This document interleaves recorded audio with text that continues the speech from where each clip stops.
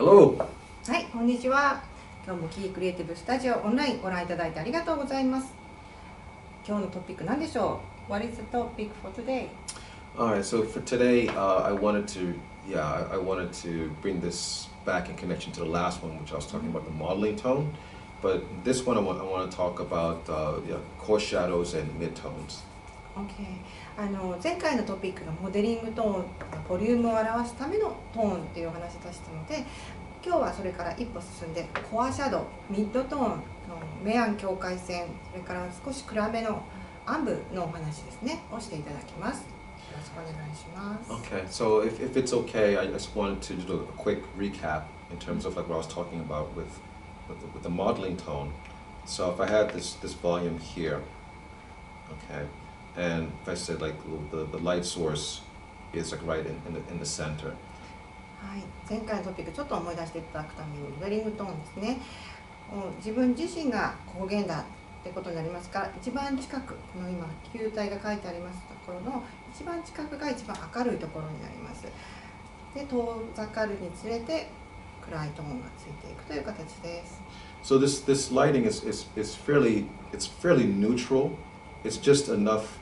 Um, it's just enough information here just to show the volume. There's there's no any specific um, dramatic light source. Actually, it's almost like if, if we, we are the light source. If, if this X is being descended, it's this would be the, the, the hottest point here, right?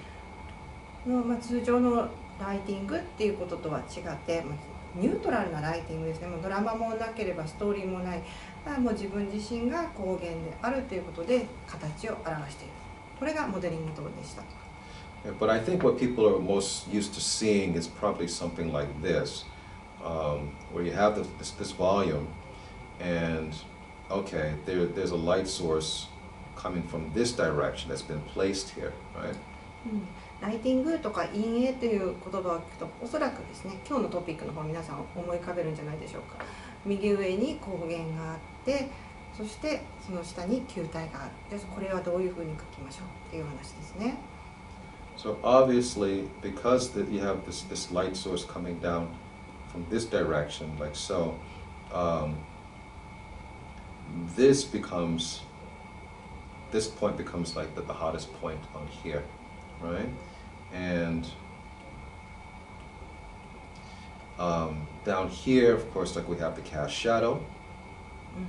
で右上が光源ですからこの白い点でついたところですねここが一番、まあ、ホットスポットといいますかハイライト一番明るいところになりますそしてそれからこう対角線上になったところに影が落ちているという形です And what, what actually a little, a little thing to remember, you know, the the, the, the cast shadows are are always um,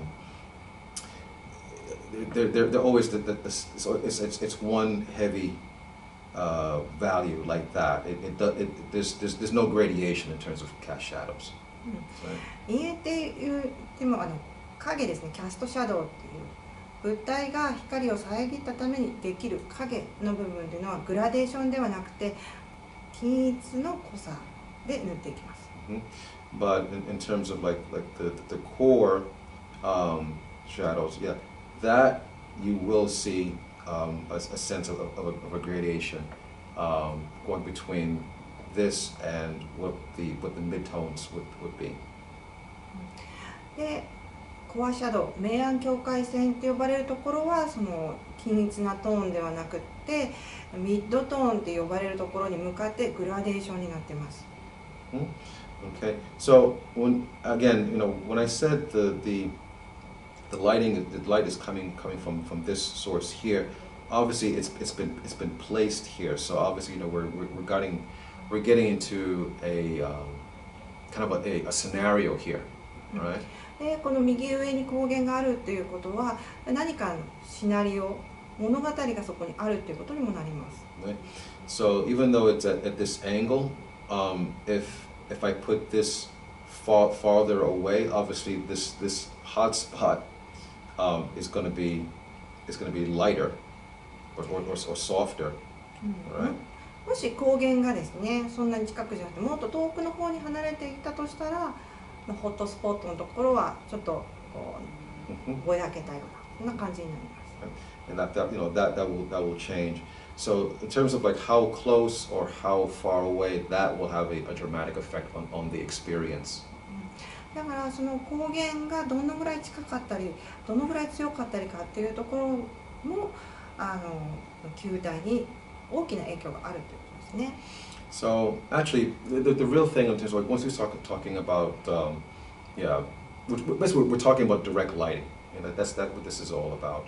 When we start talking about direct lighting, we're, we're talking about a um, yes, almost like a story and, and an experience here, right? ですので今お話ししている光源っていうのは光源からある方向性を持った光が差してきているっていうことを前提にお話をしてます。I'll give you another example here. So I have um, I have the, the, these these two these two boxes here, right? 別の例を挙げて説明しますね。ここに2つボックスがあります。And obviously, you know, they're, they're, they're pretty much, they seem to be of, of, of, of equal, equal value, right? 暗さは同じ程度です。But the moment I, I do this, で右の方のボックスにこんな風にですね濃い線をつけてきます。now the experience is, is it's different now. まあ全く違うものに見えてきますよね。So ev- even though you know, the, the, the value inside uh, of these two boxes are bas- basically the same, you know, this border about it gives it a different sense of, of an experience, right? もうあの全く同じ濃さで2つ最初四角を描いたんですけれども周りに枠があるかないかでもう見た感じが全然違います。 So if I did something like this here on, on this sphere, right, this tends to make it look even sharper or, e- e- or even brighter actually just, just でじゃこの球体の方に戻ってみますね。今度は今コアシャドウのあたりをもうちょっと濃く塗ってみました。そうするとさっきのハイライトのホワイトスポットのところが相対的に明るく持ち上がってきてますね。OK so,、how does this apply to, the human figure、今球体とボックスで説明してきたところを人間に応用してみましょう Okay, so okay, here we go. So let let's say if I had um, I don't know some some figure 人を一人描いてます like this. Okay. Alright. So I'm just getting down to ba- basic gesture. Okay. もうちょっと簡単なジェスチャーで描いてますよ。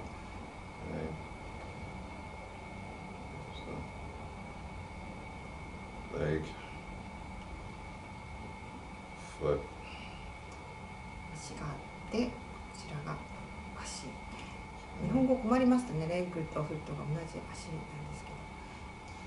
And um, I hope my process makes sense to people. Because people say, like, where do you start? Do you start with the start with the head? You start with the, the torso? う You know, start with the foot. right. So, um, but the mm-hmm. most point is we can look at the basic gesture down down first.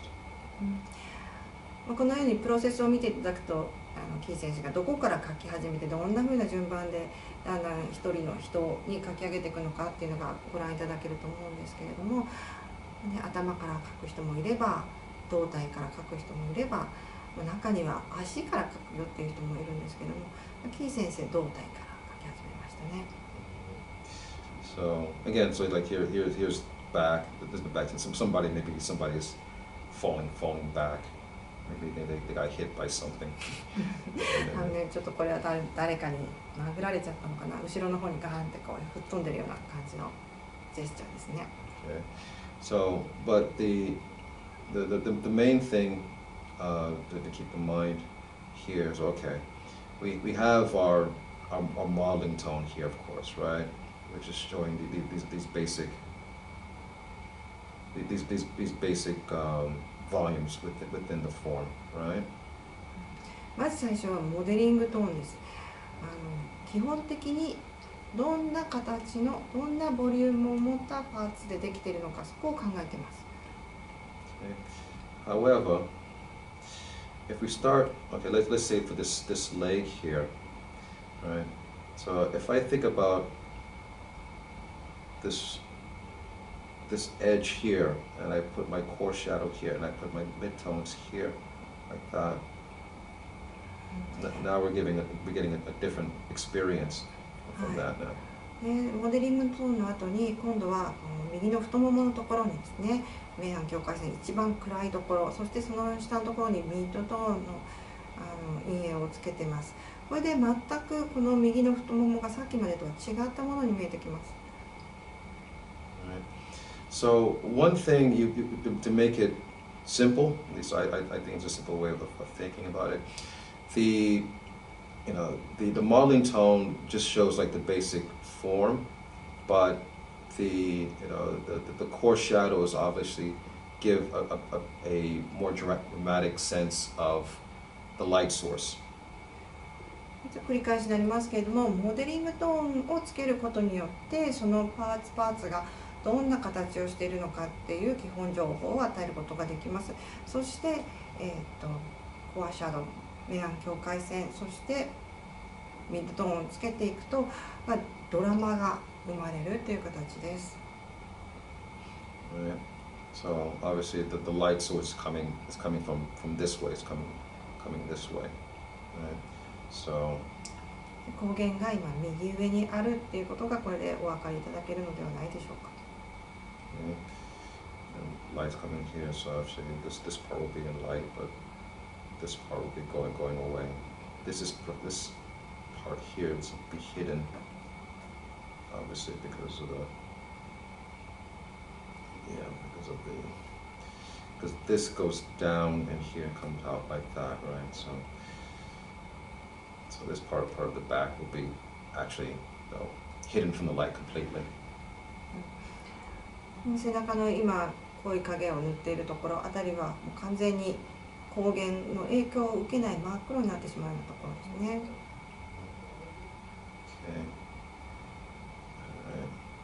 So again, I'm just I'm doing this very very quickly so you guys can just get get an, an idea of how how to how to use how to use this. 今日はまあ簡単に考え方をご紹介して皆さんにこういうことかちょっとやってみようかなっていうぐらいの説明にとどめますのでだいぶラフには書いていますけれどもなんとなく、うんお分かりいただけるのではないでしょうか。So you know, I think you guys can can tell already, even though this this is a, a very quick quick doodle. Um, this has a lot more dramatic sense of of lighting. Oh, no, this is this is that's that's clear enough. Yeah, it's, it's fine. It's I don't have to make this darker. It's, it's okay. Um, there's a there's a more of a definite sense of more dramatic lighting here. 本当に短い時間でサクサクサクっと書いてしまったものなんですけれども影の部分を塗っていくだけでだいぶドラマチックになりましたよね。 Yeah, because if I would, if I was just using the, the modeling tone, this, I, I wouldn't be doing, I wouldn't have this core shadow that I wouldn't have this, this mid tone down here like, like so. もしモデリングトーンだけで今のこの人物を描いてしまったらここまでのドラマは生まれませんしあのコアシャドウだったりミッドトーンというところも塗らないっていうことになってます。